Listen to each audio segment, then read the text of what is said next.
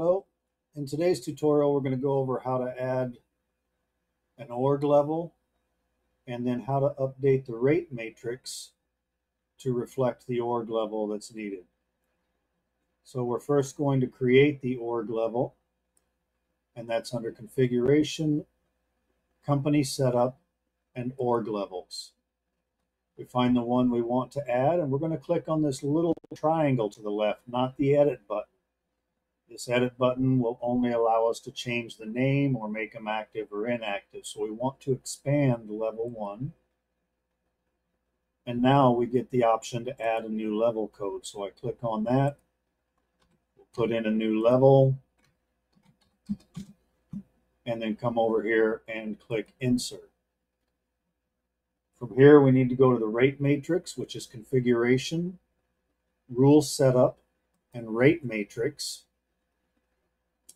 And we've only got one in here, but you may have more than one uh, to choose from. It just depends on the employees. If employees get different rates from other employees and things like that. But we're going to click edit on this rate matrix. And we can see it's based on the position. And these are the ones I currently have. Here is the one that we just added. So I just double click on that, or I could have highlighted it and clicked add level codes.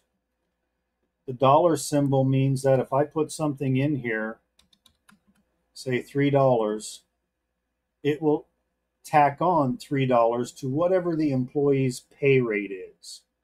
Same with the bill rate. We also have the ability for a percentage to add a percentage onto the employee's already given pay rate in their employee details and or bill rate if that's what you select.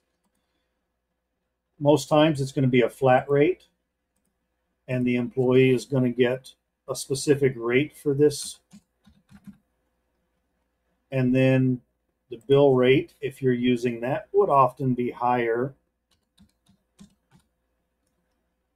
And then we select add level code. So if the employee clocks into this specific uh, 51 that we added, their pay rate would be calculated at $24 an hour.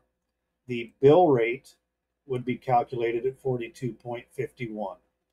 So you just click add and then you would click save. That's all there is to adding an org level and attaching your rate matrix to it. Thank you for watching.